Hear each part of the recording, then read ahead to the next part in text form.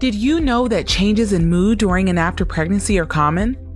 So, if you have been feeling stressed out, down, or just haven't been feeling like yourself lately, you are not alone. Perinatal Connect is bringing together researchers, healthcare providers, and parents who have experienced mood disorders during pregnancy or after giving birth. Parents like you are connecting to support each other and share experiences. And they are participating in a special kind of research where parents have a voice and are the experts on their own experiences. In patient centered outcomes research, your experiences help researchers and healthcare providers understand the best ways to improve care for parents like you.